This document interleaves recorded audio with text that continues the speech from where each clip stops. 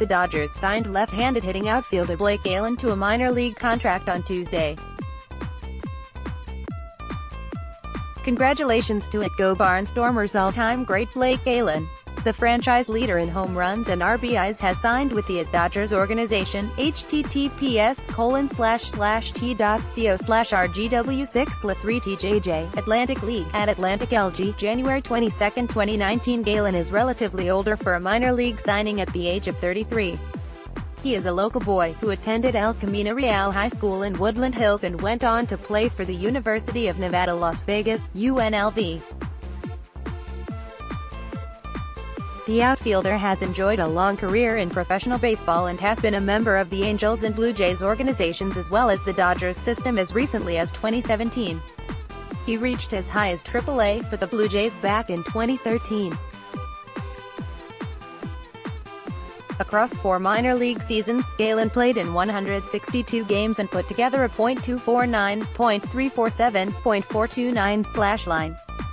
Across three seasons in the Mexican Pacific Winter Leagues, he played in 147 games, amassing a .238, .348, .431 line. Gailen has spent most of his professional career in independent ball, 12 years, where he was well above average. In 917 games, Gailen batted .322, .411, .513, which is pretty excellent. Also, Blake Gailen participated in the World Baseball Classic in 2017, playing for Team Israel. Analysis Gailen appears to be nothing more than a depth signing at the moment but has played well in independent ball and has tasted affiliated ball in the past.